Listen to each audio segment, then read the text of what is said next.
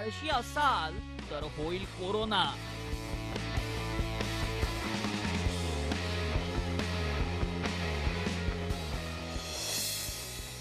नियमित व्यायाम करणाऱ्यांना धोका कमी.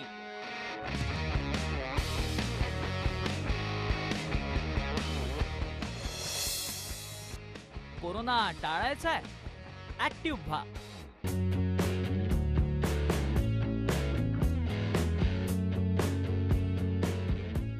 कोरोना रुग्णांचे वाढते आकडे पाहून तुमची छाती धडधडतीये. तुम्हालाही कोरोना होण्याची भीती वाटतेय? मग आजपासूनच घरच्या घरी व्यायाम सुरू करा. कारण शारीरिक दृष्ट्या फिट लोकांच्या तुलनेत आळशी लोकांना कोरोना होतो अशी माहिती अमेरिकेतील एका सर्वेक्षणात स्पष्ट झाली आहे कॅलिफोर्नियात अठ्ठेचाळीस हजार कोरोना रुग्णांचं सर्वेक्षण करण्यात आलं. दर आठवड्याला अडीच तासांपेक्षा कमी व्यायाम करणाऱ्यांना कोरोना होण्याचं प्रमाण जास्त होतं. अडीच तासांपेक्षा जास्त व्यायाम करणाऱ्यांमध्ये कोरोनाचं प्रमाण कमी होतं. कोरोनामुळे होणाऱ्या मृत्यूंमध्ये आळशी लोकांचं प्रमाणही अडीच पट जास्त होतं. हृदयविकार मधुमेह किडनी आणि हाय ब्लड प्रेशरची समस्या असणाऱ्यांना कोरोनाचा सर्वाधिक त्रास झाला. नियमित व्यायामामुळे शरीर जास्त ऑक्सिजन वापरतं. ऑक्सिजनची मात्रा मिळवण्यासाठी शरीर जोरजोरात श्वास घेतं. त्यामुळे फुफ्फुसांची कसरत होते. मजबूत फुफ्फुस असणाऱ्यांना कोरोना संक्रमणाचा धोका कमी असतो असं तज्ज्ञ सांगतात. आठवड्यातून अडीच ते पाच तास व्यायाम करण्याचा सल्ला जागतिक आरोग्य संघटनेनंही दिलाय. सध्या कोरोनाचा धोका एवढा वाढलाय. की घराबाहेर पडणं सुरक्षित राहिलेलं नाही. अशा वेळी घरच्या घरीच व्यायाम सुरू करा.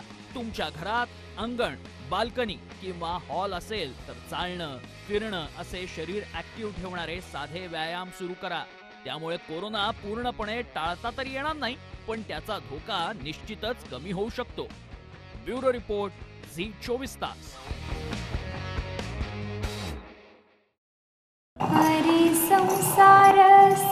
बहिणाबाईंची जात्यावरची ओवी. म्हणजे?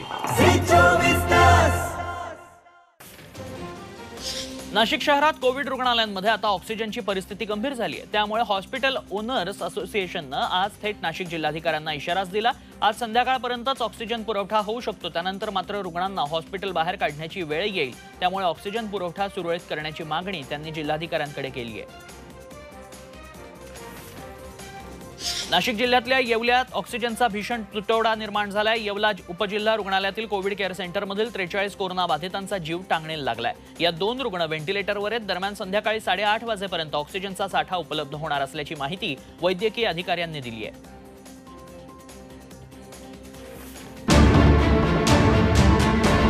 बातमी मागची बातमी. म्हणजे